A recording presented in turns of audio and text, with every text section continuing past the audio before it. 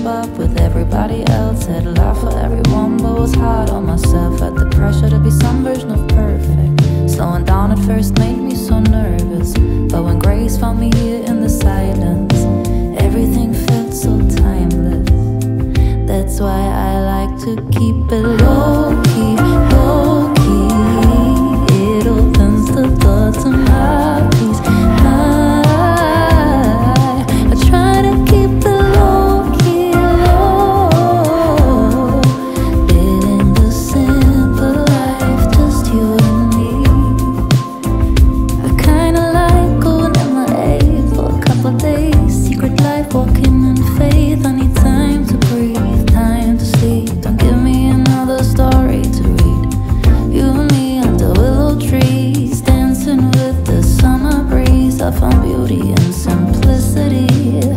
That's why I like to keep it low